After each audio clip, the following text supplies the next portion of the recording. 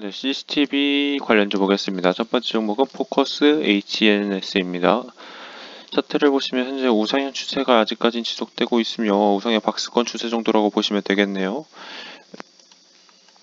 일단 단기적으로 주가가 241선 장악하고 한 차례 상승을 보여주었으며 그 이후에 음, 이번에 481선 돌파를 시도하는 모습입니다.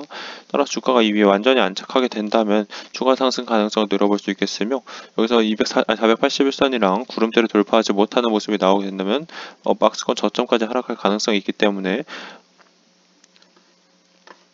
여기나 여기 두 가지 타점 중에 보고 정하시는 것이 좋겠죠. 다음 종목 보겠습니다. 다음 종목은 코맥스입니다. 코맥스 차트를 보시면 현재 우하향 추세를 최근에 돌파하려는 모습이 나왔으며 어, 아직 돌파에 완전히 지지를 받지 못했지만 241선을 위에서 안착해주는 모습이 여기서 나오게 된다면 추가 상승 가능성이 충분히 있는 종목입니다.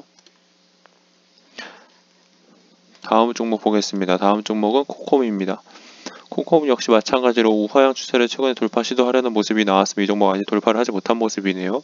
이 종목은 나중에 구름대랑 이평선까지 모두 돌파한 이후에 안착했을 때 타점 잡는 것이 좋겠습니다.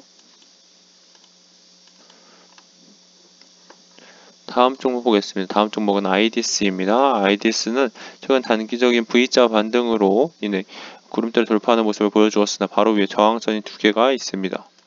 이평선 저항선이 두 개 있기 때문에 여기서 추가적인 횡보가 나오면서 이평선까지 서서히 돌파해주는 모습이 나와야 타점을 잡고 들어가 볼만 하다고 생각합니다.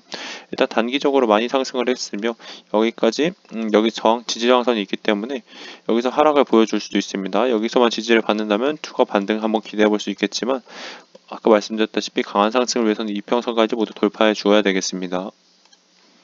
다음 종목은 한화 에어로스페이스입니다. 한화 에어로스페이스는 굉장히 좋은 종목이었는데 지금은 구름대 밑으로 들어오게 됐네요. 일단 우상향 추세가 이렇게 살아있으며 여기서 생겼던 이러한 지지저항 부근까지 현재 내려온 것을 볼 수 있습니다. 일단 위쪽에서 어, 고점 3개를 찍고 내려왔기 때문에 이 지지저항선이 이탈하면서 추가 하락 가능성이 충분히 있을 수 있습니다. 게다가 마지막에 거래량까지 터졌죠. 따라서 지금 당장 매매하는 것은 별로 좋은 수가 아니라고 생각하며 이 종목은 나중에 여기에 다시 장악해 줄 때 그때 타점을 잡으시는 것이 좋겠습니다. 다음 종목 보겠습니다. 다음 종목은 CTS입니다. CTS는 지속적인 우하향 추세이며 최근에 거래 정지까지 있었네요. 이 종목은 어, 최소한 매매를 하려면 요 위에까지 올라와 주어야 됩니다. 이 위에 올라 이후에 안착을 해주어야 단기 상승이라도 먹을 수 있지 그때까지는 어, 매매를 별로 하고 싶지 않은 종목입니다. 다음 종목은 비츠로시스입니다. 비츠로시스도 마찬가지로 지속적인 우하향 추세 중이며 일정한 지지 저항선이 없으면 여기서 계속해서 저항받는 모습을 확인할 수 있습니다. 따라서 여기 최소한 돌파에 안착해 주어야 단기 상승이라도 노려볼 수 있겠습니다. 다음 종목은 인콘입니다. 인콘 역시 마찬가지로 지속적인 우하향 추세를 보여주고 있으며 단기적으로도 지지 라인이 보이지 않습니다. 일단 여기 거래량 실린 음봉 여우 위치이기 때문에 여기서 한번 지지 돌파에 안착해 준다면 단기 상승의 여우까지는 한번 노려볼 수 있겠네요. 그 전까지는 딱히 매매를 하고 싶지 않은 종목입니다.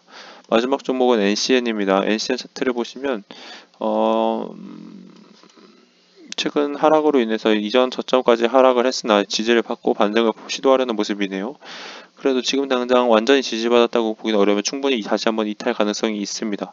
그렇기 때문에 이 종목은 나중에 여기까지 돌파를 해주어야 어, 단기 상승 노려볼 수 있을, 있을 것 같네요. 여기까지 돌파를 해준다면 200까지도 한번 노려볼 수 있을 것 같습니다.